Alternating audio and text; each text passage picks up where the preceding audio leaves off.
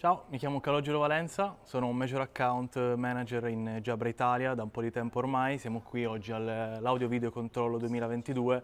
per dire un po' la nostra. Eh, in questi due anni, ormai quasi tre anni, il modo di lavorare è cambiato tantissimo, già prima del Covid eh, si iniziava a parlare un po' di megatrend, quello che è avvenuto invece si è verificato una specie di accelerazione su tutti quelli che erano appunto i nuovi modi di lavorare.